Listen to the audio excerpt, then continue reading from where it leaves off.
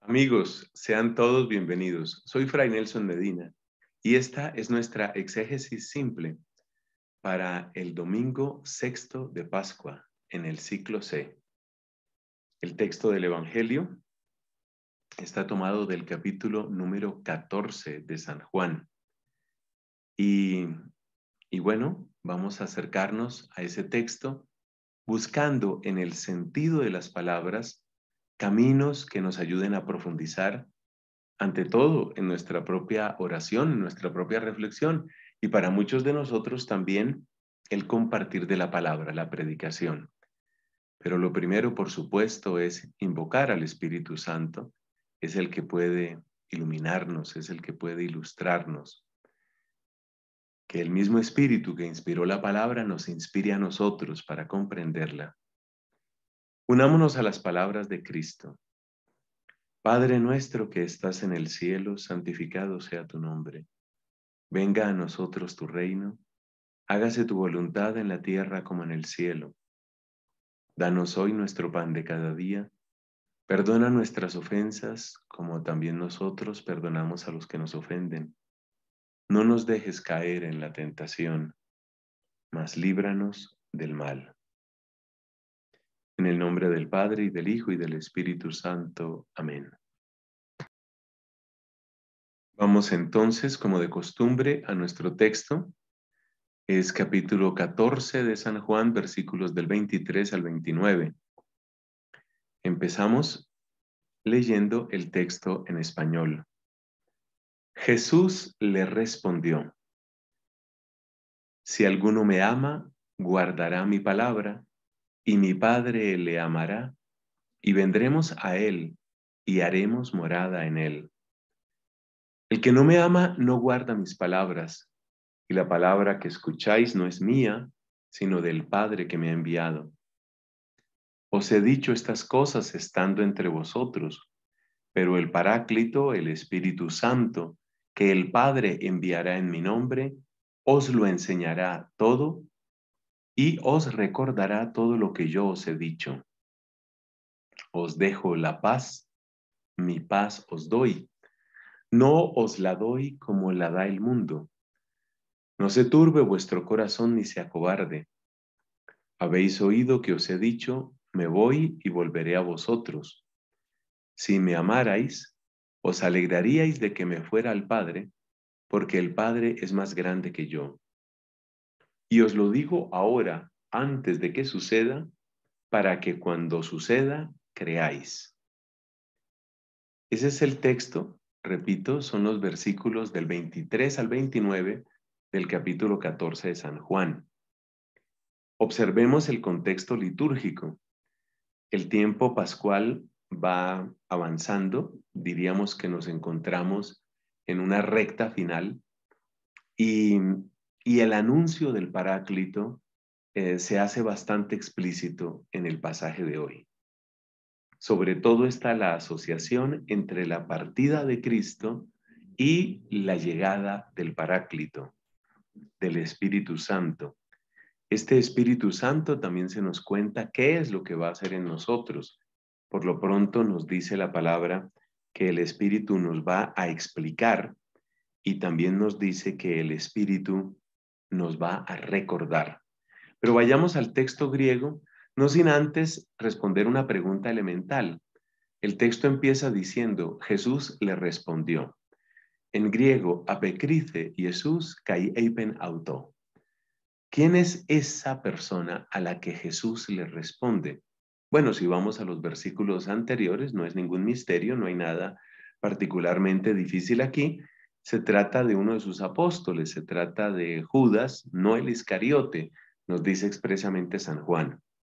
Y la pregunta que, que, le hace Judas, este Judas al que solemos llamar Judas Tadeo, la pregunta que le hace es, ¿qué ha sucedido para que te manifiestes a nosotros y no te manifiestes al mundo? Es decir, ¿por qué esa manifestación así como, como peculiar, como particular? Y ahí es donde empieza el texto de este evangelio. Apecrice Jesús callei penautó. Respondió Jesús y le dijo. Y entonces, ¿qué le dice Jesús? Eantis agapame ton logon mu teresei. Ean es una conjunción que introduce un condicional, es decir, sí como, como posibilidad, ¿no? Si viene, si sucede, esa es una conjunción que introduce un condicional aquí. Eantis, tis es alguien, si alguno, agapame, si alguno me ama, ton logon mu teresei. Esta es una idea que se repite varias veces en los capítulos 14 y 15 de San Juan. Y en sí misma es una, eh, es una enseñanza ya bastante profunda. Cómo el amor a Cristo está vinculado con la obediencia a Cristo.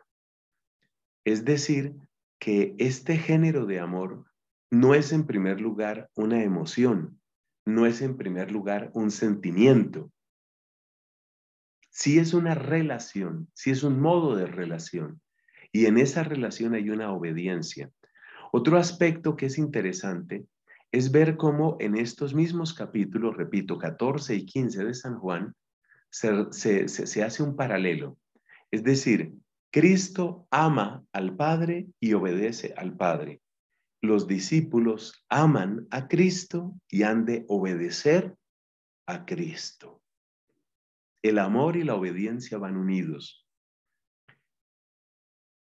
Eh, dice aquí, e antis agapame ton logon mu teresei. Ton logon mu es mi palabra, mi palabra. Y el verbo es terese y del verbo tereo.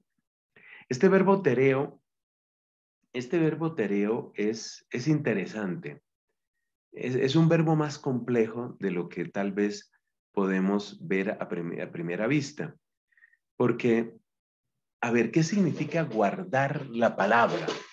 Eh, e, esto nos invita a acercarnos a la raíz, eh, a la raíz semántica de, de tereo. Es, es guardar, guardar. Claramente el significado es ese, guardar. Pero es que dentro de ese guardar hay matices que son importantes. Porque, por ejemplo, ¿qué es lo que uno, eh, qué es lo que uno preserva? ¿Qué es lo que uno protege? ¿Qué es lo que uno guarda? Aquello que es valioso. Ojo con este detalle. Aquello que es valioso. Entonces, el guardar se refiere a un proteger, fíjate la cantidad de verbos que nos van a salir aquí. Proteger, preservar, pero también vigilar. Así, por ejemplo, em, se habla de que un soldado está de guardia, verbo guardar. Los soldados que mandó poner Pilato frente a la tumba o junto a la tumba de Cristo estaban guardando el sepulcro. Entonces el, el guardar también tiene el sentido de vigilar. Y en cierto sentido, en un momento dado, Tereo se aproxima a controlar. Es como, como un poseer, como un tener poder sobre algo.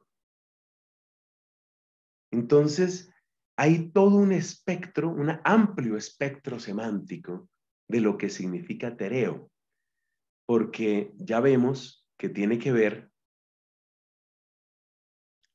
tiene que ver con qué? Preservar, proteger, vigilar, defender, pero en un momento dado, si seguimos en ese espectro, puede ser controlar. Por ejemplo, ¿Qué era lo que estaban haciendo? Yo vuelvo a este caso del sepulcro. ¿Qué era lo que estaban haciendo los guardas?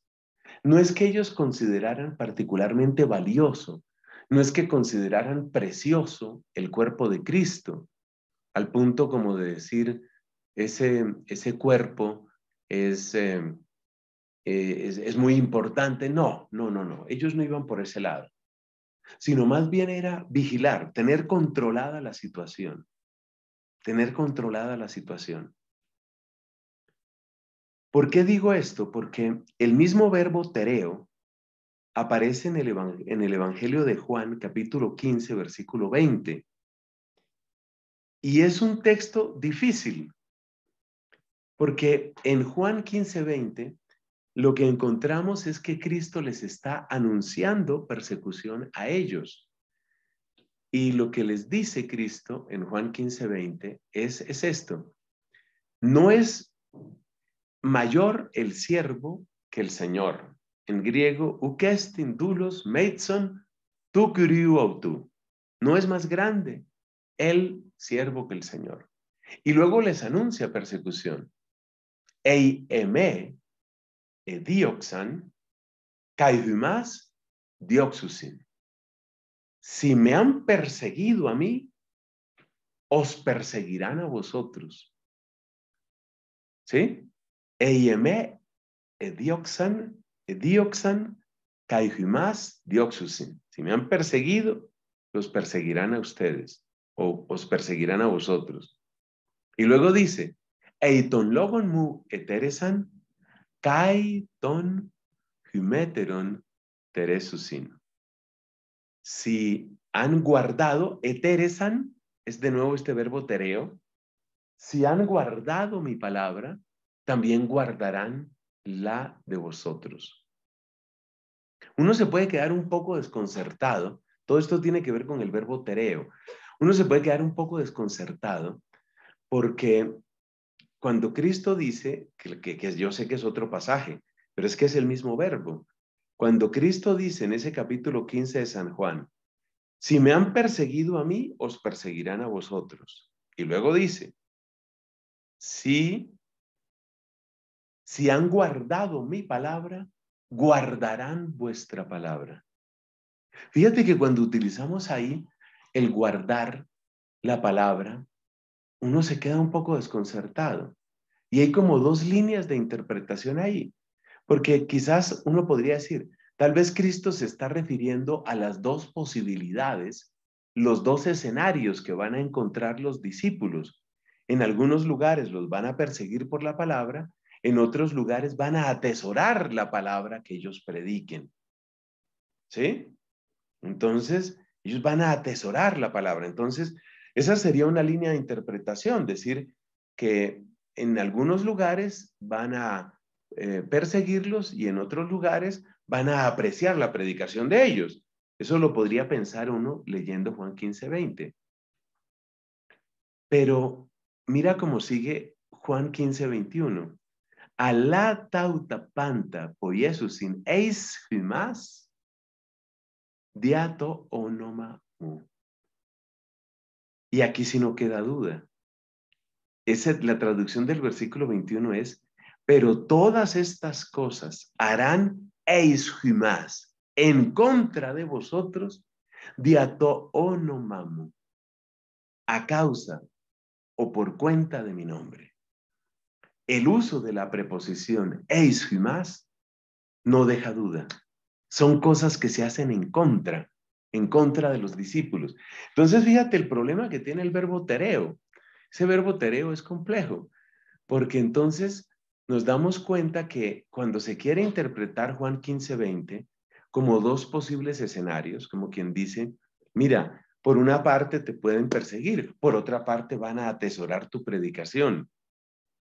Ya quisiera yo que esa fuera la interpretación, pero esa interpretación es muy difícil de sostener a la luz del versículo, a la raíz, a la luz de Juan 15, 21, donde se ve que Cristo está hablando de lo que van a hacer en contra de ellos. Y atesorar la palabra de ellos no es hacer algo, no es hacer algo en contra de ellos, eso sería estar a favor de ellos.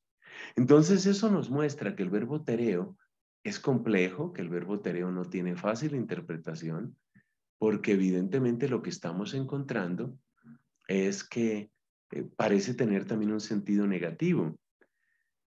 Si nos vamos al, latín, mira lo que nos dice sobre Juan 15:20. Y repito, no es lo del domingo, no es lo de este sexto domingo de Pascua, pero, pero sí es un texto muy importante porque nos está presentando el mismo verbo tereo.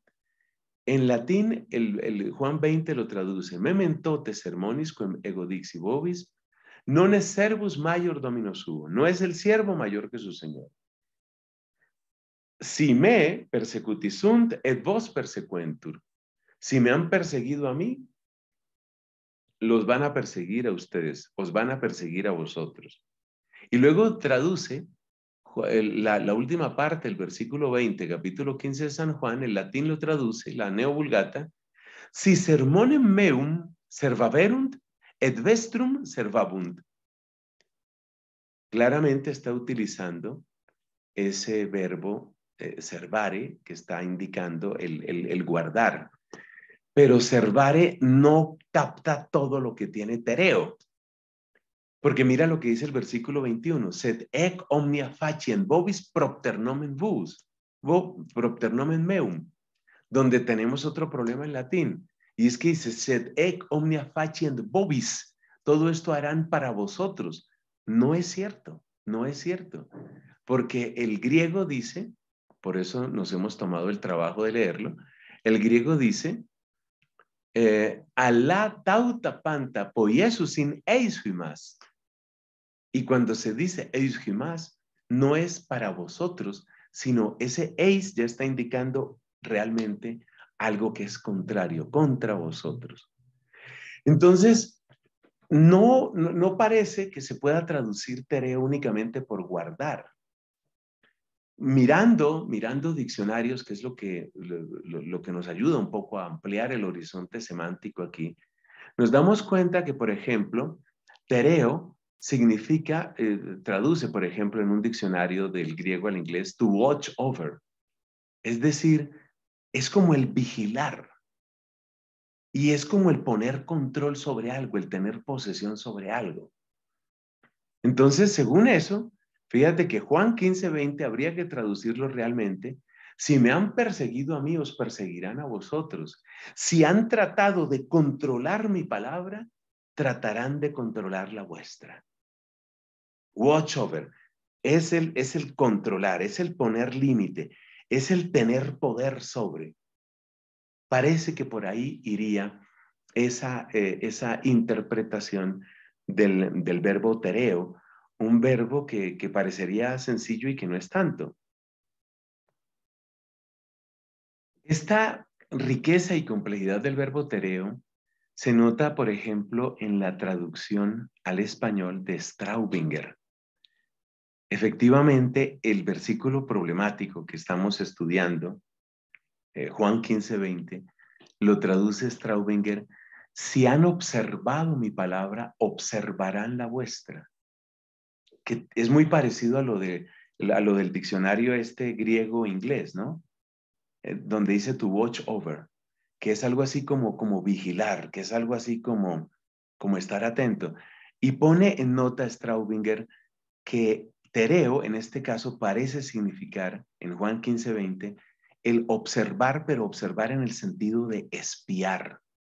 No es, no es el, el guardar en el sentido de hacer mía la palabra, sino en el sentido de espiar la palabra. O sea que Straubinger se da cuenta del problema que tiene este verbo. Con todas esas precisiones, volvamos a nuestro texto para ver cómo, cómo se puede entender mejor este tereo aquí. Dice aquí, eantis locon mu. El que me ama, teresei, es decir, dice aquí, guardará mi palabra. Pues ya nos damos cuenta que, el verbo tereo va como, como en tres líneas. En una línea es atesorar, en otra línea es proteger y en otra línea es vigilar. Tiene como esas tres vertientes el verbo tereo atesorar algo que es realmente precioso para mí, proteger algo que está en peligro y la otra es eh, vigilar, controlar casi, ¿no? De esos tres sentidos, los dos primeros cabe eh, aplicarlos aquí en Juan 14, 23. El que me ama atesorará mi palabra. O también podría significar que va a custodiar, va a proteger la palabra, va a defender la palabra. Yo me quedaría, yo personalmente me quedaría con atesorar y defender la palabra. Si alguno me ama, atesora mi palabra y la defiende. Y yo creo que eso es lo propio del discípulo.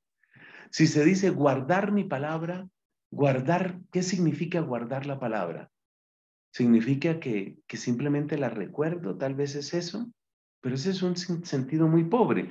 Es decir, uno puede recordar las palabras de Cristo para atacarlas. Grandes ateos han conocido bastante bien las palabras de Cristo, muy bien las han conocido, las han recordado muy bien.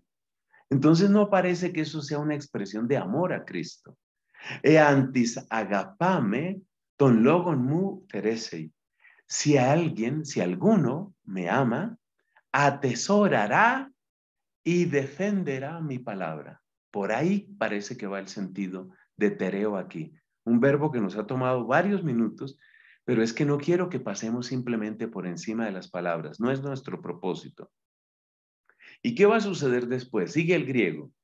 Kai hopatermu agapesei auton, kai prosauton eleusomeza, kai monen parauto, monen parauto, poiesomeza.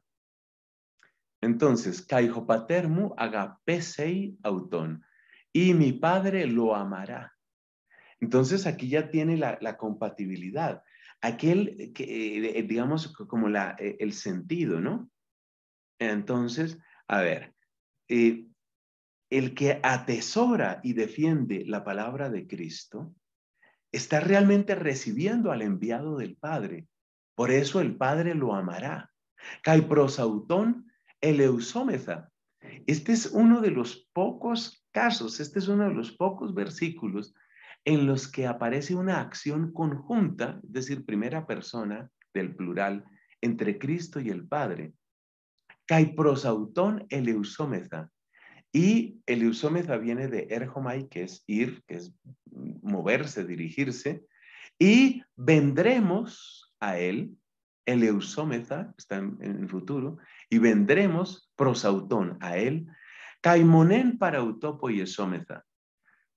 Poyesómeza viene de poyo, que significa hacer, y dice, haremos monen. Bueno, moné, ¿qué es? Moné es una palabra que aparece muy pocas veces en la Biblia. Moné es un lugar de permanencia, lugar de habitación. Y es muy interesante, aquí lo traducen por haremos morada en él. Es, muy interesante preguntarnos por qué no aparece una palabra que sería mucho más común si se trata de una habitación, y es, sería la palabra oikos, ¿no? Haremos casa en él. ¿Por qué se utiliza la palabra monen? Es una palabra que, según entiendo, solo está dos veces en los evangelios y en ambos casos es Cristo quien la utiliza para referirse al, hacer habitación, al hacer morada, ¿no? En ese lugar. Caimonen para utopo y eusómeta, y haremos morada en él. ¿Por qué no se dice haremos casa? Bueno, yo encuentro dos razones. Una, que el verbo, e, este verbo, eh, este sustantivo, moné, está emparentado con el verbo que se utiliza en griego para referirse a permanecer. Es decir, es como si dijera, haremos permanencia en él. Aunque es un sustantivo, porque claramente es un sustantivo, eh, a lo que se refiere es a lo que se refiere es al verbo menó, que significa, que significa permanecer. Es decir, nosotros permaneceremos.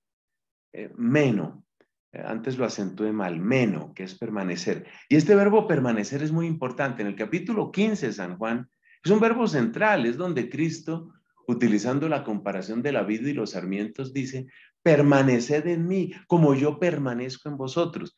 Pues resulta que Moné está conectado, incluso fonéticamente, Moné está conectado con meno, que es, eh, es, es permanecer, es habitar.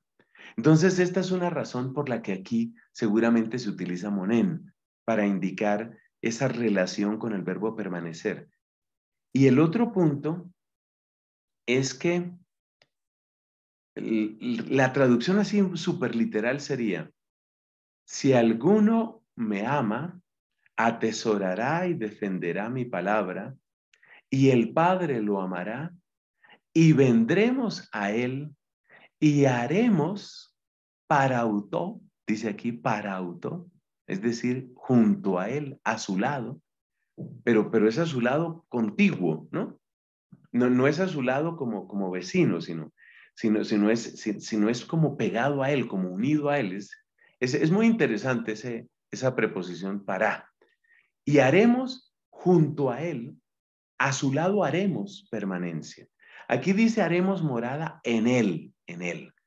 Pero propiamente, si nosotros miramos el sentido de para, pues para no es propiamente en, sino es, es al lado, pero, pero, pero unido. Unidos al lado. Y haremos, unidos al lado de él, haremos, haremos qué? No haremos casa, haremos permanencia. ¿Por qué me parece que, que, hay una segunda razón para utilizar permanencia? O para utilizar aquí la palabra moné. Bueno, porque es que moné está indicando algo que se puede, que se puede terminar. O sea, en principio una casa es para que dure. En cambio, la permanencia, la permanencia es, es un poco como lo que sucede con los documentos de un migrante, cuando se habla, por ejemplo, de la residencia, ¿no? La residencia. Eh, fíjate cómo en, latín respetan el sentido de para. Dicen en latín, et pater meus diliget eum, y mi padre le amará, et adeum veniemus, y vendremos a él, et mansionem apudeum faciemus. Mansionem, mansionem es demasiado solemne y demasiado permanente, ¿no? Pero lo que quiero destacar aquí es que el griego dice parautó, y en latín tradujeron apud eum. Ese apud del latín no es in eo, no es in eo faciamus mansionem, no es haremos morada en él, sino es haremos morada unidos junto a él. Tal vez la, la mejor traducción de para es unidos junto, unidos al lado de él.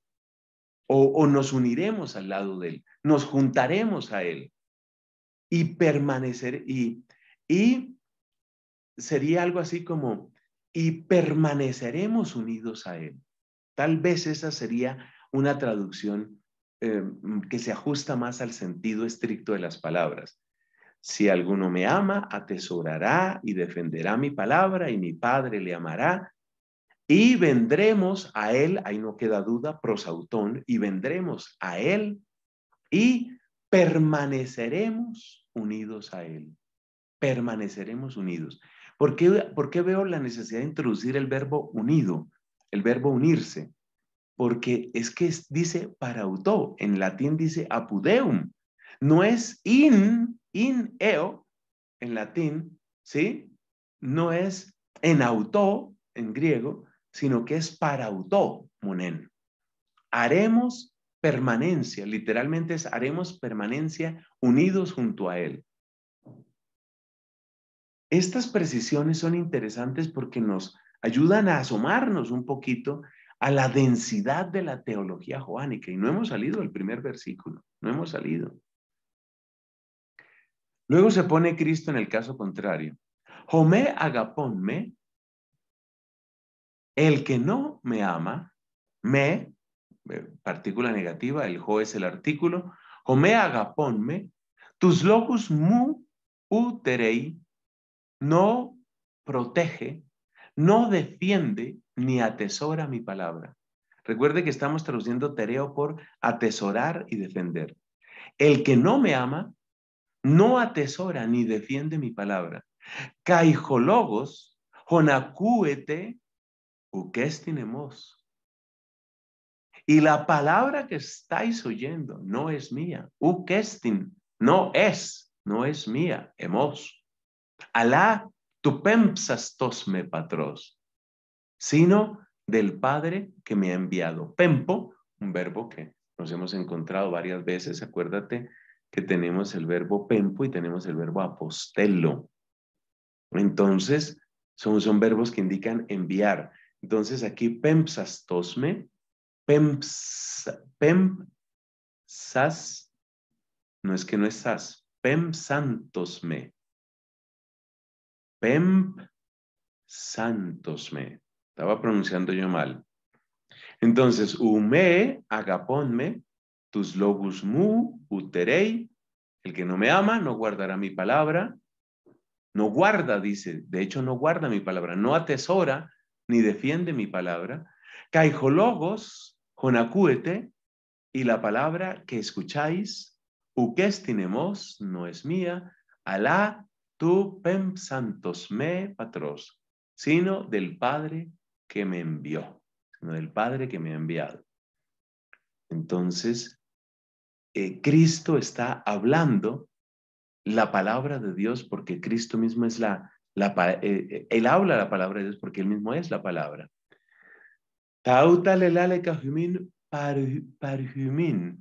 Parhumin menon. Estas cosas, tauta, estas cosas, lelale kahumin, os he dicho a vosotros, parhumin menon, estando junto a vosotros. Menon del verbo meno, el que me había mencionado antes, es permaneciendo a vuestro lado. Fíjate que aparece nuevamente la misma preposición. Esta es para, para. Entonces, la palabra que os he dicho, estas palabras, os he dicho, esto os he dicho, permaneciendo junto a vosotros, permaneciendo para Jumín permaneciendo unido junto a vosotros. Aquí puede uno darse cuenta la importancia de ese para. Cristo no estaba en ellos, Cristo no estaba adentro de ellos, Cristo estaba para parhumin, junto a ellos, junto a ellos, pero, pero unido a ellos. Por eso la importancia de, que, de, no decir haremos morada en Él, no es traducción exacta. Haremos morada unidos junto a Él o permaneceremos unidos junto a Él. ¿Por qué? Porque lo que Cristo está prometiendo, es decir, que el Padre y el mismo Cristo van a estar unidos junto a aquel que ama a Cristo, eso que está prometiendo Cristo no es otra cosa sino la prolongación de lo que ha sido Cristo con los apóstoles. Tauta lelale parjumin menon, permaneciendo junto a vosotros. Y aquí se ve el paralelo entre el verbo meno y esa, eh, eh, esa morada, esa permanencia, ese moné, que es tan raro y que aparecía en el otro versículo. Bueno, jodeparácletos, topneuma tohagion, jopemse y jopater en tonomatimu, Ekeinos y panta. Entonces, el, el parácletos, el parácletos, ¿quién es el parácletos? Bueno, parácletos significa el que es llamado en auxilio. Otra vez para, ¿no? Otra vez para. Parácletos. En latín literalmente es el, el, el abogado, el advocatus el que tú llamas para que esté a tu lado, para que esté junto a ti, junto a ti y, digamos, defendiéndote, ¿no? Es decir, junto a ti de tu lado, junto a ti de tu parte. Jode Parácletos, aquí aparece el anuncio del Paráclito, del Paráclito. Jode Topneuma Tohagion. Ahí está la identidad entre el Paráclito y el Espíritu Santo el Paráclito, el Espíritu Santo, Jopemse y Jopater en que enviará Pempsei, Pempsei del verbo Pempo, Jopemsei, Jopater en que enviará el Padre en mi nombre, en tono matimu, en el nombre de mí. Ekeinos humas didaxei panta. Este, o sea, el Espíritu Santo, humas didaxei panta, os enseñará. Del verbo didaxei es futuro, del verbo didasco. Didasco es el de la didáctica. La didáctica. Didáscalos es el maestro, didasco es enseñar. Entonces, el Espíritu Santo que el Padre enviará en mi nombre, ekainos más didaxei, este os enseñará panta todas las cosas. Kai hypomnesei, hypomnesei. Hipo mimnesco. Hypomimnesco es el verbo que está en el hypomnesei. Hipomimnesco significa recordar, recordarle a otra persona, lo que en inglés llaman remind, la diferencia entre remember y remind. Entonces, el Espíritu Santo os enseñará todas las cosas y os recordará, humas panta, todas las cosas que yo dije. Entonces, las acciones del Espíritu aquí son el enseñar todo y el recordar todas las cosas. Aparece dos veces este panta que indica de un modo genérico todas las cosas. Didaxe y panta. Tai hypomnesei, más panta. Y os recordará todas las cosas. Es interesante desde una perspectiva patrística, es interesante el uso de estos dos verbos, porque el didasco va a la inteligencia, el hypomimnesco va a la memoria, y luego el, el Espíritu Santo, pues es el espíritu de amor, como nos dice, por ejemplo, en Romanos capítulo 5 el apóstol San Pablo, o sea que va a la voluntad. Y la inteligencia, la memoria y la voluntad como aparece, por ejemplo, en los escritos de San Agustín, son las tres potencias del alma. O sea, el Espíritu Santo viene a esas tres potencias. A la inteligencia, porque didaxei, a la memoria, porque hipom, hipomnesei, y a la voluntad, porque es el amor del Padre.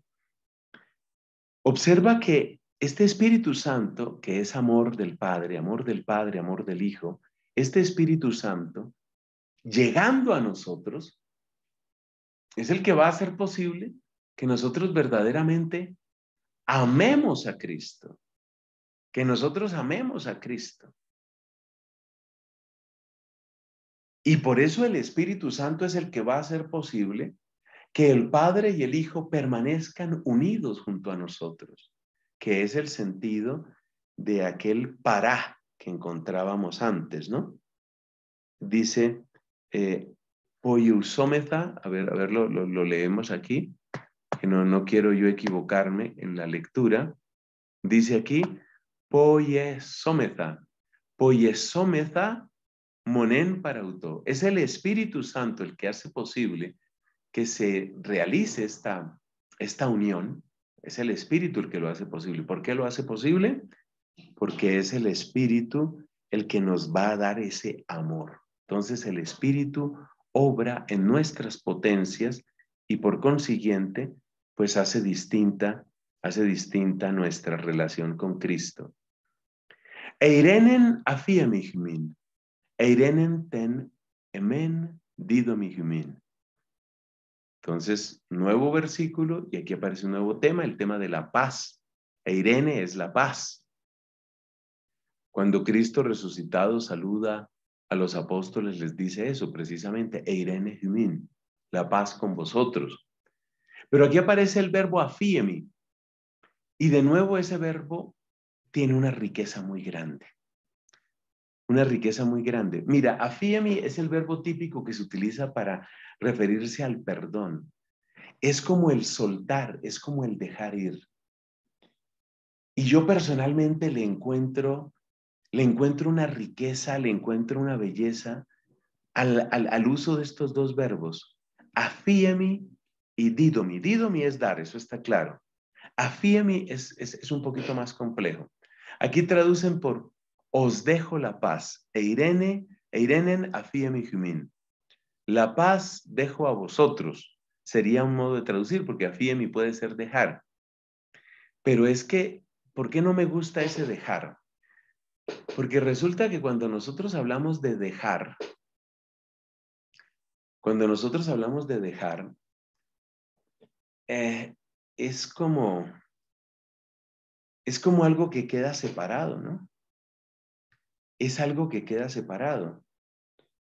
Un poco en latín tenemos el mismo problema, porque en latín dice pacem relinquo vobis. Dejo a vosotros, relinquere es, eso, dejar. Y esa es una de las traducciones posibles de afiemi, ¿no? Dejar, relinquere, en, en, latín. Sí, se puede hablar de eso, de, de dejar. Pero la pregunta que uno tiene que hacerse es, Cristo está refiriéndose como a esa separarse y, o sea, por un lado queda la paz de Cristo y por otro lado queda Cristo. Hay como, porque a ver, si, yo dejo, si yo dejo, por ejemplo, este objeto, esta latica en este caso, si yo dejo este objeto, mira, ahí te dejo ese objeto, es que allá queda esa latica y aquí quedo yo. La paz de Cristo queda así, como separada, como distanciada de Cristo, como que no corresponde, como que no es el sentido. Claro, uno puede decir que como el contexto aquí es el de la pasión, entonces es algo así como que Cristo se está despidiendo y si al despedirse, sin embargo, los deja en paz. Sí, eso puede ser, ¿no? Eso, eso puede ser, esa, sería una interpretación. Pero yo voy a comentar otra interpretación que me parece que, es más rica y que no, es, no, no, le hace violencia al texto. Y es que afiemi, como dijimos, puede significar ese, ese, ese, soltar, ese dejar ir, como cuando algo está represado, ¿no? Cuando algo está represado. Se parece en esto, a fiemi se parece a otro verbo griego, que es el verbo luo, que es el verbo de, desatar, como cuando se desata. E, en inglés, afiemi lo traducen a veces por release. Release es como dejar ir. Algo que estaba ahí como aprisionado y que se deja ir. Y por eso yo le veo, le veo una gran riqueza, le veo una gran riqueza a afiemi aquí. Porque cuando Cristo dice, Eirene nafia mi es como el soltar esa paz, esa paz que Dios quería darnos, esa paz que Dios quiere entregarnos, pero que nosotros no le hemos querido recibir, esa paz que era imposible de recibir. La imagen que tengo en mi mente es como la imagen, haz de cuenta, te lo voy a describir de este modo, es como la imagen de una represa. Haz de cuenta de una represa. Una represa que por fin suelta, suelta el agua. Eirenen mi Les dejo, les entrego, les entrego. Hay una traducción del leccionario colombiano para el segundo domingo de Pascua, que traduce Eirene Humin, no está el verbo afiemi, pero traduce Eirene Humin en sentido de os traigo la paz. Entonces, este Eirenen afiemi Humin es algo así como les entrego la paz, o sea, suelto la paz, esa paz que quería Dios entregaros, porque Dios quería reconciliarse con vosotros, vosotros no pensabais reconciliaros con Dios, pero Dios quería reconciliarse con vosotros. Dios quiere daros la paz, entregar la paz, donar la paz. La idea es la de algo que se suelta, algo que se libera, un momento que no podíamos imaginar, que no podíamos suponer y que sin embargo, y que sin embargo, llega ahora a su realidad. Eirenen afiemi humin.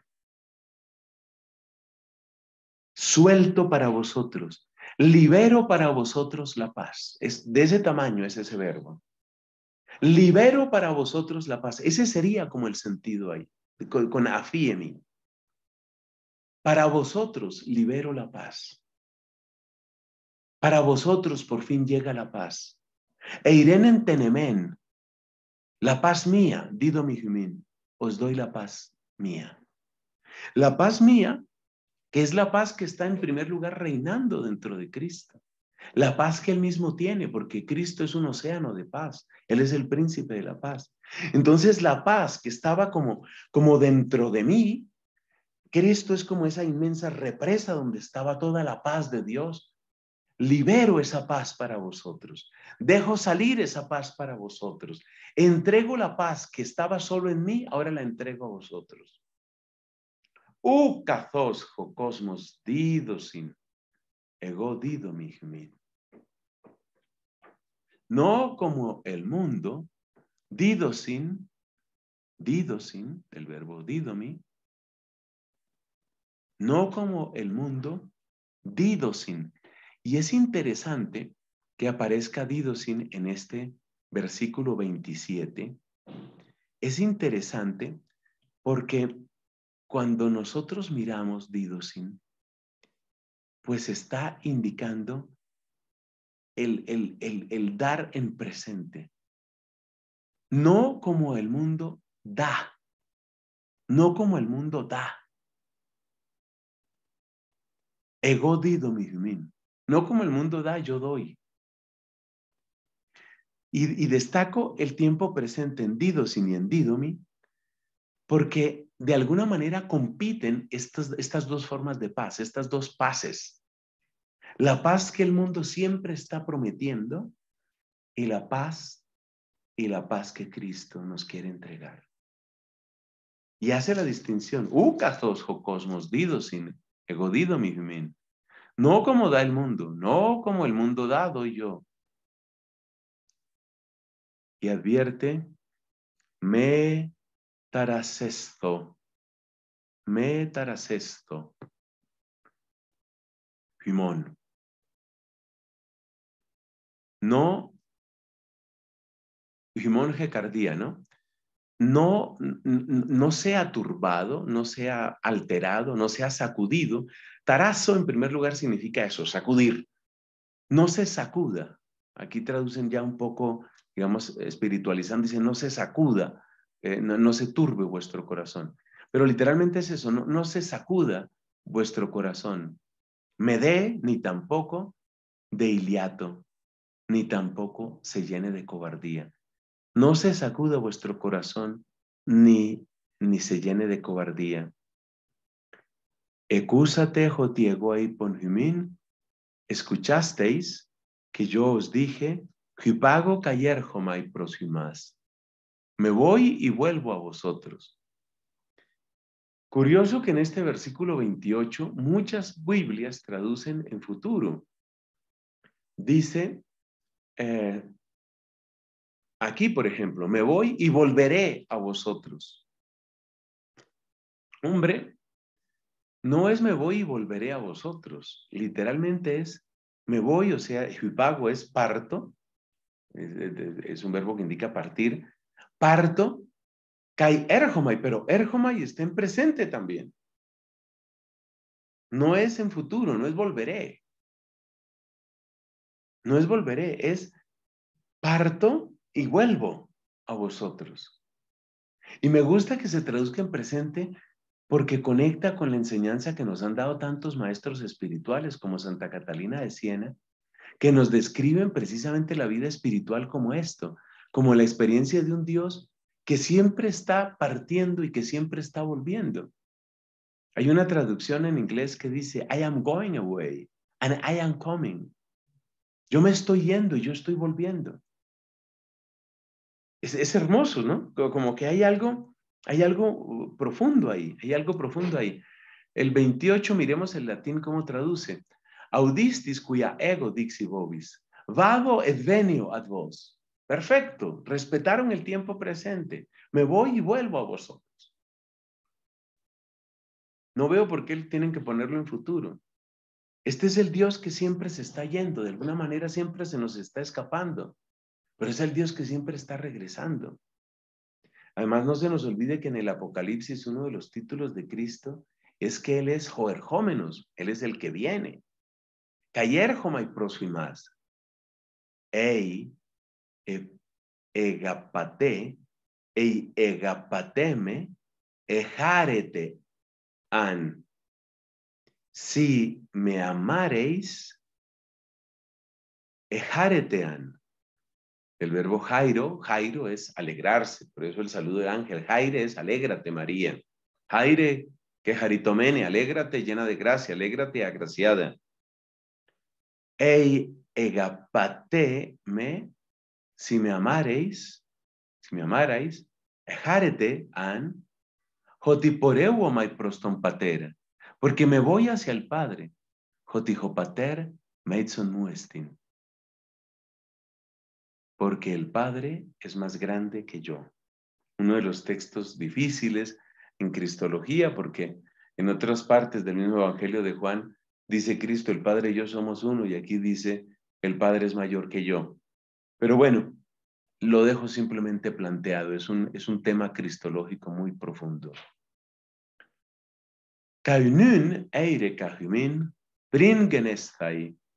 Y ahora he dicho a vosotros, y ahora he hablado, os lo he contado a vosotros, bringenestai del verbo ginomai, antes de que suceda, hina hotangenetai pisteueset, pisteusete. ¿Para qué? Hotangenetai, de nuevo de ginomai, para que cuando suceda, pisteusete, creáis. Bueno, hay mucha densidad, realmente tomaríamos mucho tiempo si quisiéramos llevar nuestro análisis hasta el último elemento, pero yo creo que tenemos ahí materia muy profunda de reflexión en el uso preciso, preciso de las palabras. En estas palabras hay mucho. Por ejemplo, eso, eso de que vado et venio ad vos, ¿no? Eso de que huipago kai erhomai. Es, es, es algo eh, es algo que realmente nos, nos impresiona. Pues démosle gracias a Dios por esta palabra y que se haga nuestra por la acción del Paráclito. Gloria al Padre y al Hijo y al Espíritu Santo, como era en el principio, ahora y siempre, por los siglos de los siglos. Amén.